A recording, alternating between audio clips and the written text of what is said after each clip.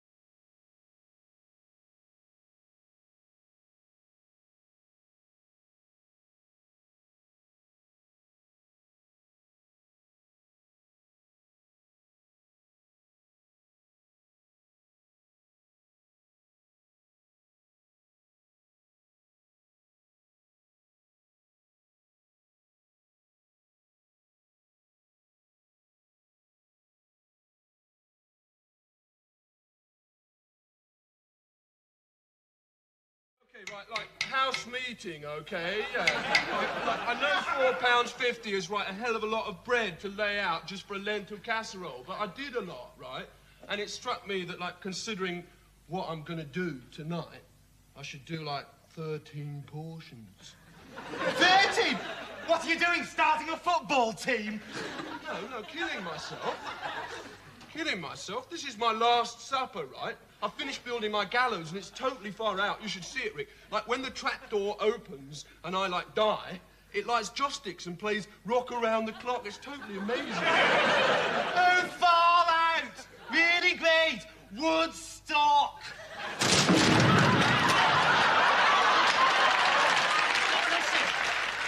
We got a letter from the council. They're gonna demolish the house tomorrow.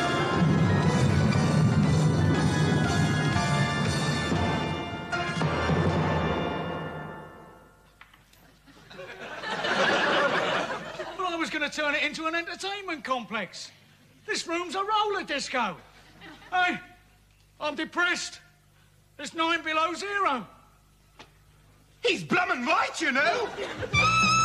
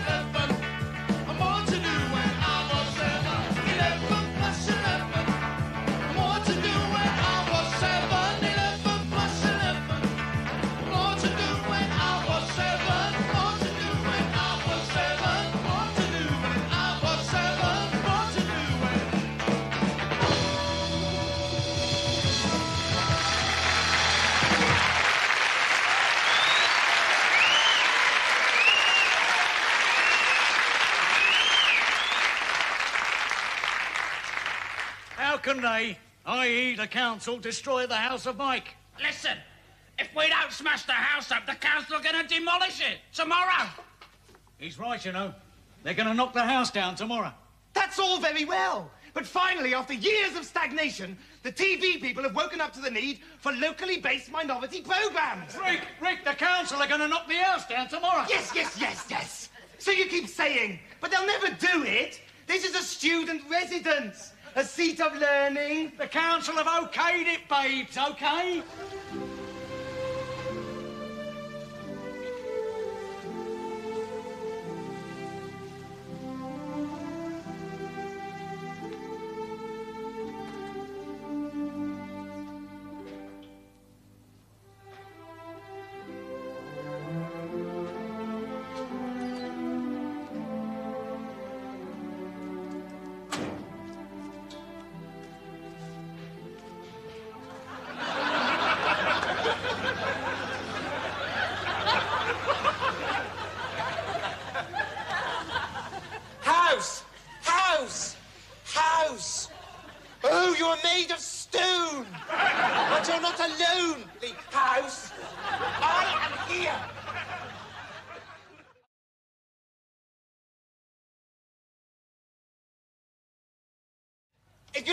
House was going to be demolished. It isn't this one.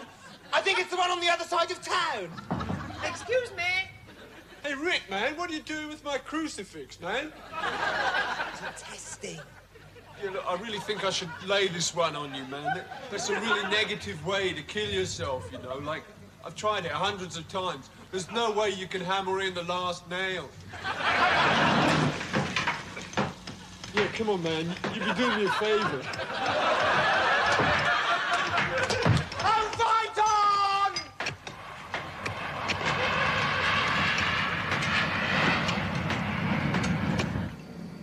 Wow, I really hope we don't have a crash. Me too. But they say it's safer than crossing the road. Yes, but we have to do that too. Best not to think about it.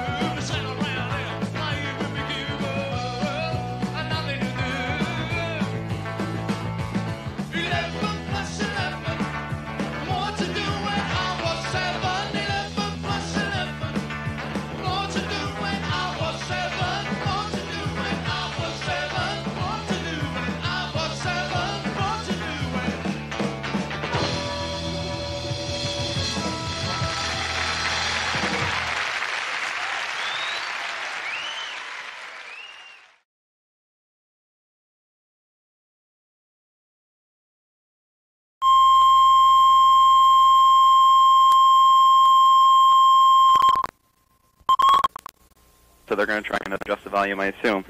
I can hear. Can you? hear- You can't hear me. No, no, I can hear you perfectly. Good. Okay, I can hear you fine. Great. Can you see me? Yeah. Well, no, actually, that's that's another story. But all right, we're gonna. I guess they're putting the tape in now, so I will give you guys a uh, five-second roll down and be out by about 14 after.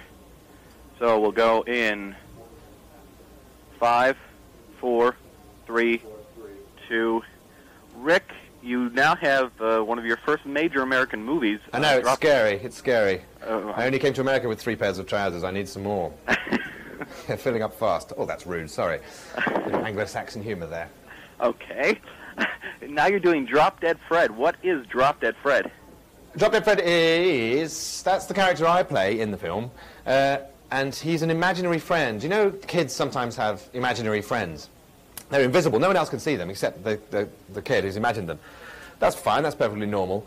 Except that the hook of the film is that Fred comes back when the little girl grows up and becomes Phoebe Cates. It's Phoebe Cates' character. Would you ever Elizabeth. perform again with Adrian, or you know maybe? Uh, Yeah, I'm writing with him at the moment. We're writing a show called Bottom, where I play uh, Richard Richard, which is like a psychotic um, odd couple. I play Richard Richard, and he plays uh, Eddie Hitler. Eddie Hitler. Yeah, people say, any relation? He goes, yes! Anis, you're like ridiculously intelligent. Why? Well, how can you believe it? Well, surely it's up there with JFK and Princess Diana. It's all conspiracy stuff. If you get me started. That's what I on- mean. You sound like crazies, you really do. Play building blocks with me. What? Ernest? Please, Dion. Just one game.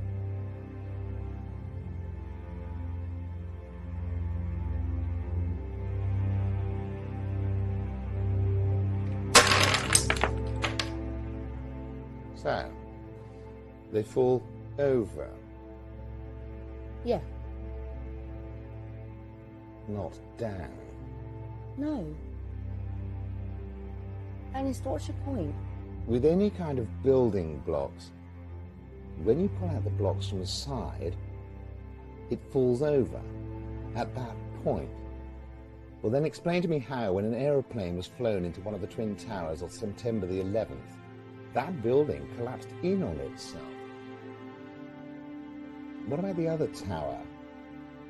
Scientifically, mathematically, or blockily, those buildings should have fallen over, not inwards. I mean, I'll concede to the idea that by some sort of miracle, one of those towers would have collapsed in on itself. But both of them? I'm afraid I doubted that the moment I watched it happen live. It is unconceivable that those planes brought those buildings down. But watch a controlled demolition. It looks the same. September the 11th, 2001 was a ruse, a show, a charade that even a child could identify. Bullshit. No fucking way. No way.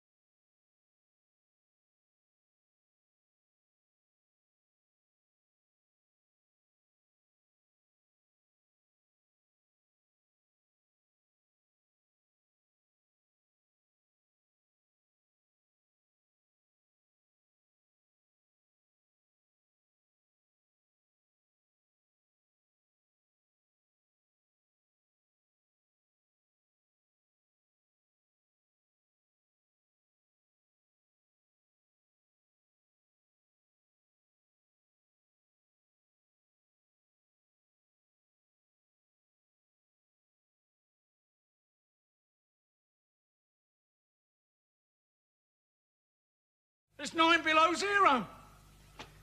He's blummin' right, you know. and fight on!